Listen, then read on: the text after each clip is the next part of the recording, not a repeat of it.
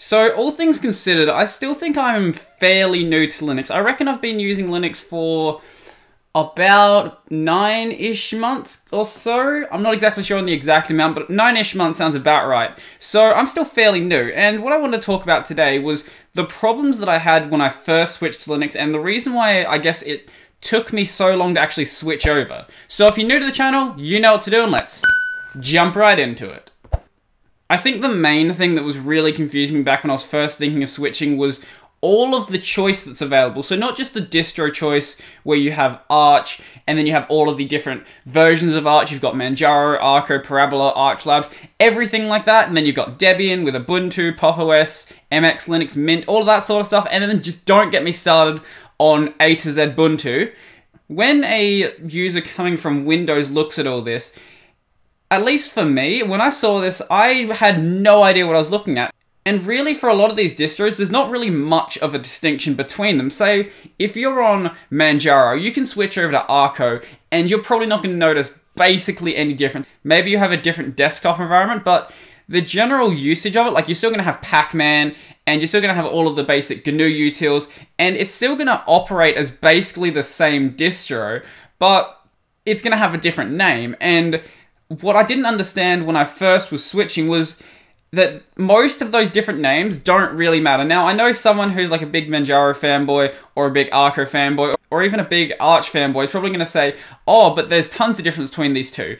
For someone who's really new to Linux, and this is how it was for me, it really doesn't matter. So I switched to Arch when I first switched over from Windows, and if I switched over to Manjaro, if I switched over to Arco, maybe if I switched over to one of the Debian distros, it'd be a bit different. But if I switched to any of the other Arch sort of distros, I wouldn't have really noticed a difference because when you're first switching, the main thing you're concerned about is trying to get used to it.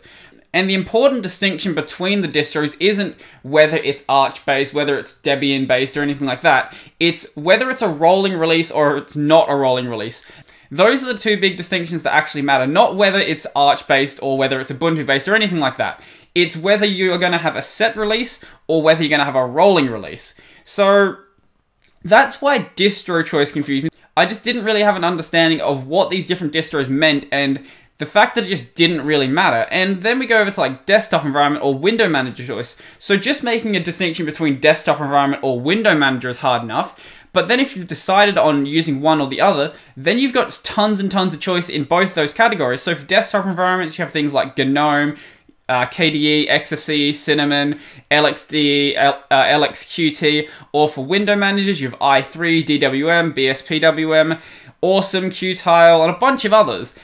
And I don't think that for a lot of these, there's really enough content out there to explain what the differences are. Now, I know someone's probably going to say, oh, just read the man page or just read the manual, but I don't think doing that really gives you a good idea of the differences between these different systems because if I say read the man page for KDE and compare it with the man page for like XFCE, you don't really have a good understanding of what's different between these two. Now, there's a lot of comparisons between the desktop environments for sure, but when it comes to the window managers, which is what I was more interested in, I don't think there's really a lot of content comparing them. Like, there's lots of standalone i3 content, lots of standalone DWM content, lots of standalone BSPWM content, but there's not a lot of like, what does DWM do better than i3? What does i3 do better than BSPWM? What does BSPWM do better than DWM? And because there wasn't really those comparisons out there, I was really confused about what any of this actually meant and whether it even mattered really. And then you could even go over to like terminal choice, where there's like URXVT, Kitty, Alacritty, Xterm, ST. In the end, it really doesn't matter which terminal you picked. But as someone who's looking at this from a complete outsider perspective, I had no idea what I was looking at.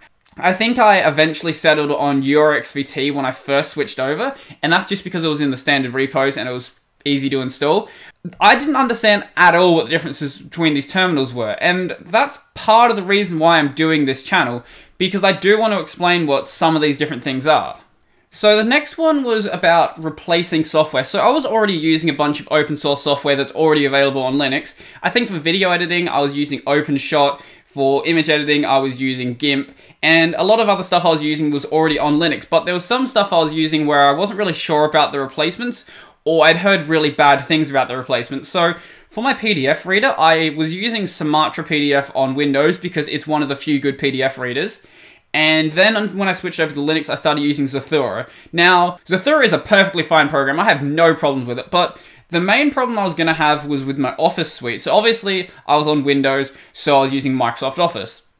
But when I switched over to Linux, I'd heard a lot of bad things about compatibility between Microsoft Office and LibreOffice.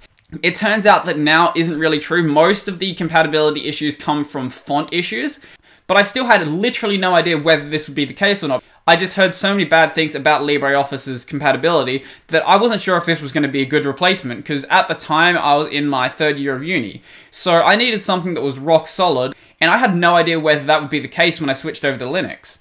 So, along with that, I had a misconception about the difficulty of using Linux. So, I'd used Ubuntu a little bit, but it was kind of just following along with a tutorial that I had in um, one of my uni classes. So, I wasn't really using Ubuntu. So, I didn't really have a proper understanding of what it was like to use the shell, what it was like to use a tiling window manager, anything like that. So, when I was planning the switch over, I didn't really know was it going to be way more difficult? Was it going to be easier?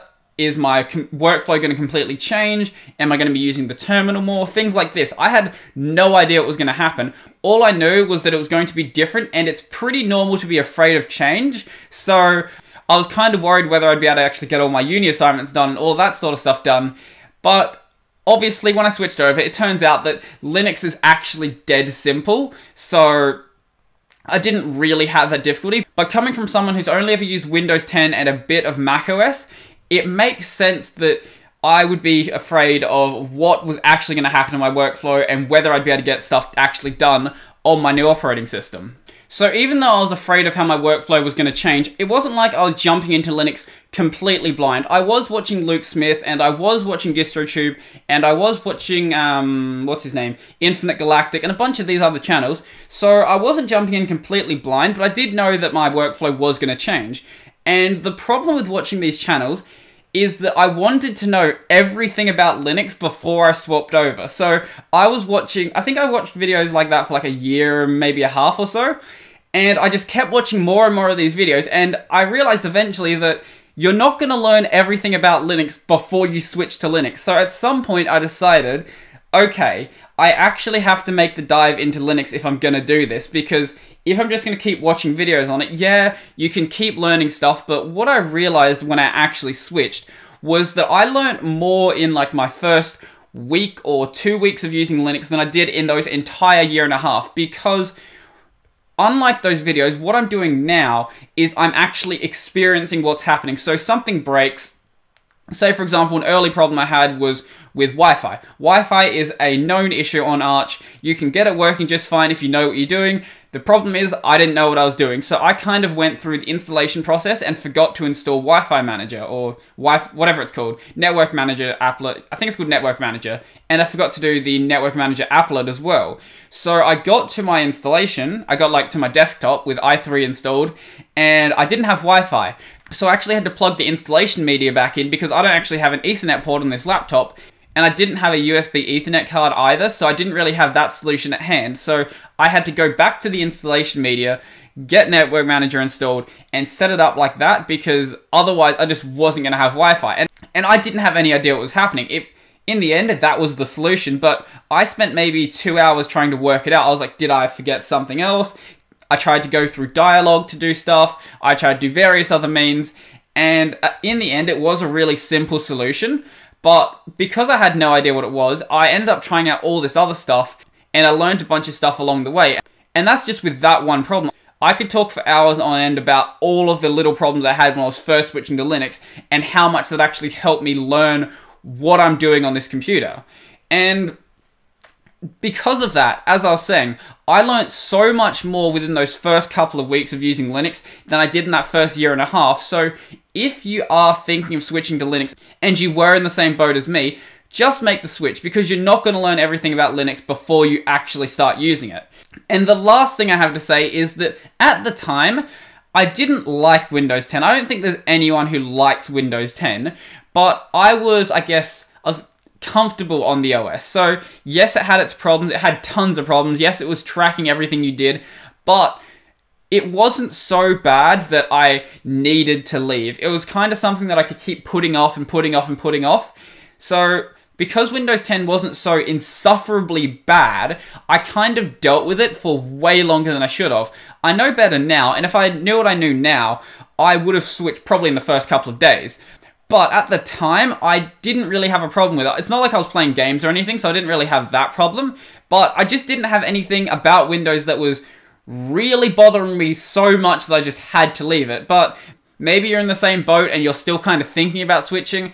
I would say just stop putting it off if you do want to switch, because it's not going to get any easier if you take longer to switch. So that was my story about switching to Linux. So let me know what you guys think, and I guess if you suffered some of the same problems when you first were switching, or maybe you, when you switched over, you had no problems whatsoever. Maybe you were just super into everything. You actually knew everything about Linux. You swapped over to Gentoo and you were like perfectly fine and you had no problems whatsoever. I don't think that's going to be the case for anyone who's not a liar, but maybe it is. So let me know what your story is down below. And hey, maybe your story can help someone out as well. So if you like this video, then remember to subscribe and ding the little bell icon down below because it'll really help the channel out. I'm now aiming for 10,000 subs and any help would be really appreciated. Up on that corner, I've got the playlist of videos in, so go check that out if you want to see other videos like this. Down below, I've got my social links, so go check that out if you want to see my Discord, my Telegram, and all of that sort of stuff. So go check that out if you want to chat with me or you want to get video updates. I've also got my support links down below, so that'll be my Patreon and various other links like that. So feel free to support the channel if you do want to, but as always, if you don't want to support the channel, then you obviously don't have to do it. And lastly, I've got my alternate video platforms, so that'll be my BitTube and my LBRY. So go check those out if you want to see my videos on a platform that isn't YouTube. So I don't know if you would have noticed it while I was recording, but my voice is a little bit croaky. So after yesterday's podcast where I was recording by myself for an hour, I kind of had a bit of a sore throat. That was entirely my fault because I haven't actually tried to talk by myself for an hour straight before, so hopefully it doesn't come off too bad in this video. I don't think it was too bad. I, I kind of had to cut a bit along the way because I had to cough, but but hopefully it'll be better by tomorrow and maybe you guys didn't even notice if I didn't put it out. So anyway, I think that's pretty much everything for this video and I'm out.